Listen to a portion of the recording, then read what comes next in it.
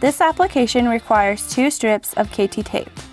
Position yourself with a stretch along the inner thigh. Sitting on a chair with legs apart will achieve this.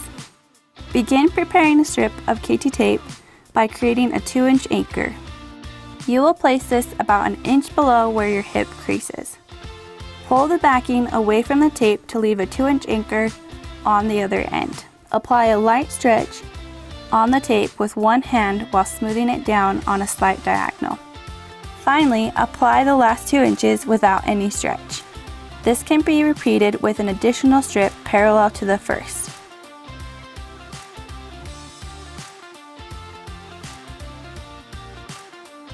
Finish with a gentle rub to improve adhesion.